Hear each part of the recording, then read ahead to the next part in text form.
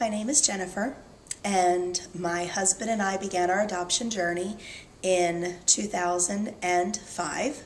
We um, decided that was how we wanted to grow our family. We didn't necessarily need to adopt, but we wanted to. My mother grew up playing on the grounds of Pearl S. Buck International um, when it was Ms. Buck's home.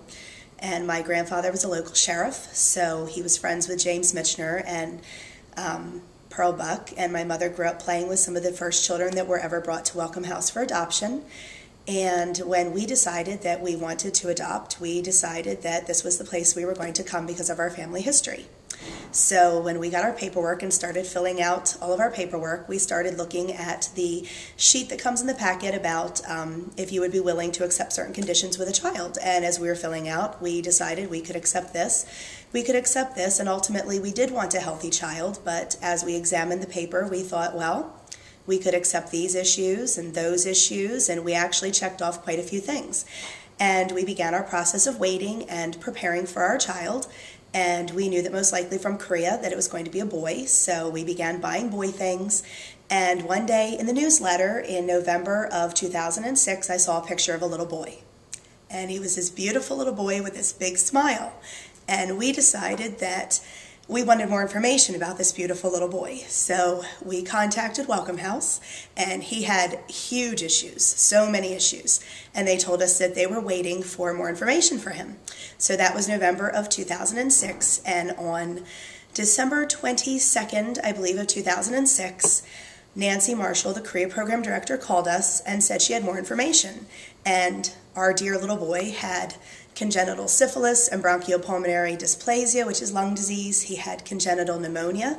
He was born severely prematurely with an APGAR of 1. He was intubated for 32 days on oxygen. He was on IV antibiotics for 21 days.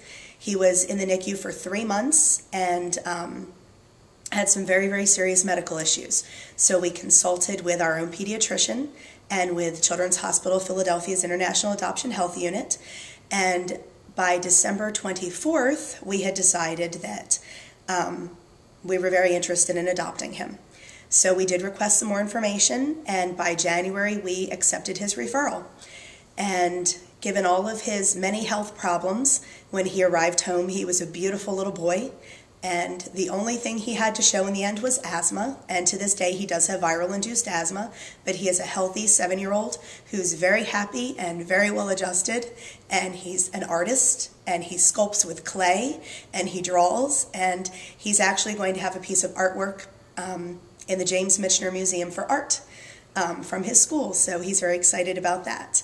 So, because our first experience was so wonderful, we decided that we wanted to adopt another child. So, we decided to go down the route of Korea again, and we decided that we would be open to pretty much anything.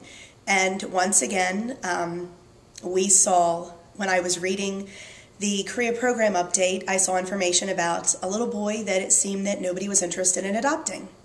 And ironically, my grandmother died on February 16th of 2010, and Welcome House received his referral on February 17th of 2010, and I saw his his initial story a couple of days later. And he was referred as a healthy child, but he was born with wet lungs and torticollis, which is a muscle condition.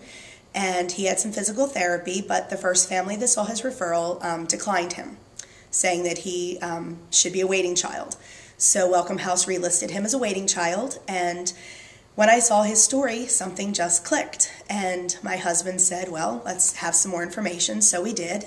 And we dealt with um, Amy, the Korea program director, and she sent us some great information. And once again, we chose to deal with Children's Hospital of Philadelphia, and they referred all of his information to them. And we brought him home, and he appeared to be perfectly healthy in the beginning, and we went down the same route of early intervention services and um, an evaluation at Children's Hospital. And he had some some skills that were very scattered and some things that didn't quite make sense.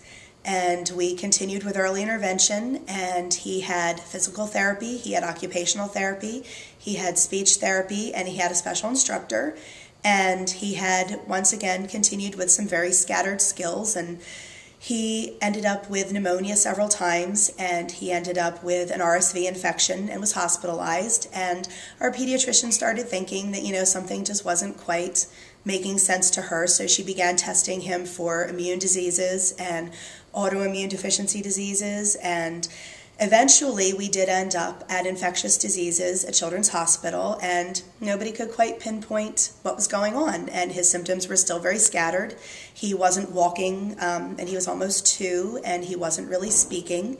And we persevered and continued on, and um, they began testing for genetic issues. And there was one genetic syndrome that they really felt um, that he may have. So, of course, we studied it and thought, okay and um, one Saturday morning, our pediatrician called me and said, um, about a month after his genetic testing, said, Well, I would really like you to come into the office and talk with me. And I said, Oh, well, that's probably not good. And she said, Well, we just need to talk for a little bit. And I remember thinking, okay, and you know, as much as you prepare for something and you accept that something is going to happen, you eventually think to yourself, well, I need a moment to recoup and I said to her, okay. And I said, I just have two questions. And she said, okay.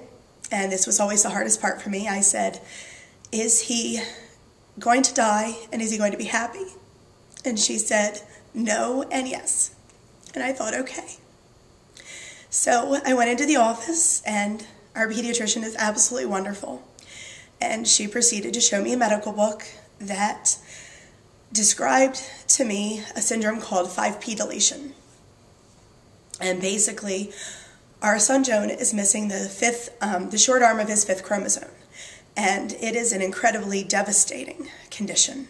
And the first thing that strikes you when you read the literature is in big bold print in all of the books is severe mental retardation. And I work in childcare and we no longer use those terms to describe children who are differently abled.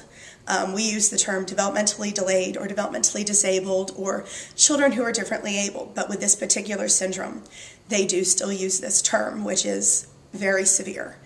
And in that moment, everything changes. And I went about my normal business that day and looked at him and thought, that's not you. And it really wasn't him. And we continued with our therapies and all of his therapists agreed that's not him, and we made our appointment with the genetic counselor at Children's Hospital. They're a wonderful resource that every family should use. And we had our appointment about two months after his diagnosis, which was a very, very long, very hard wait to um, see the genetic mapping and to hear what the geneticist felt about his syndrome and how he his the syndrome applied to him. And in the meantime, our family was very supportive and our friends were very supportive. And we used our therapists as a great resource, and they all agreed that, you know, the syndrome didn't necessarily fit Jonah because most children are diagnosed at birth with his syndrome, and he wasn't. Um, and by the time we met with the geneticist, she was very encouraging and said that he's very atypical for his syndrome, and he has some traits of the syndrome and some he doesn't. Um, and in that moment, you have more hope, but there is a shift, and your life is one thing before, and you think your life is going to dramatically change, but it's more of a growing process and it's more of a changing and just changing sometimes the way you see things and modifying the way you look at things. And I was never so bold as to presume what my children would be when they would grow up. Um, I never said AJ is going to be a lawyer and Joan is going to be a stockbroker.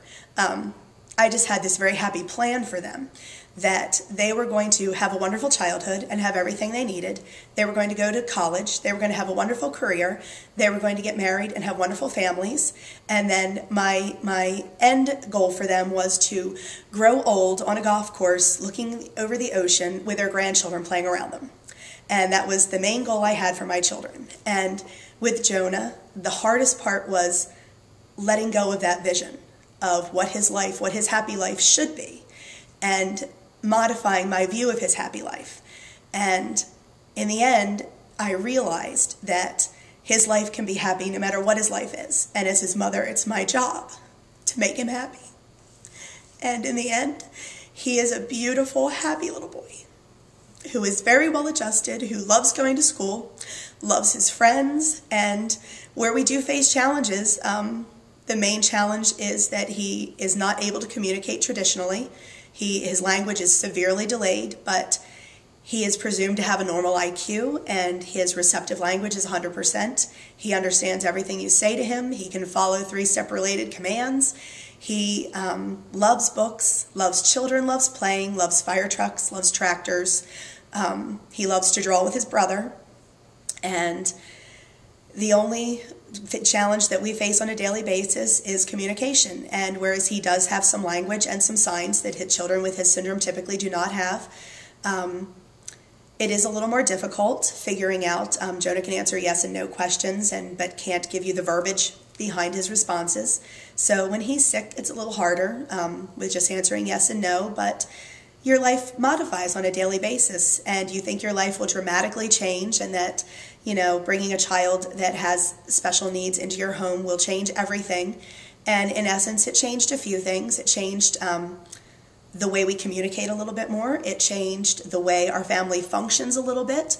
Um, but it was really just like having a child. And whether you add a child who's special needs or a child who's perfectly healthy, your family is going to grow and change. And whether you add a pet to your family or, you know, families change on a daily basis and they grow and they modify, and life is a journey, whether it's an adoption journey or any kind of journey. So I guess that's it.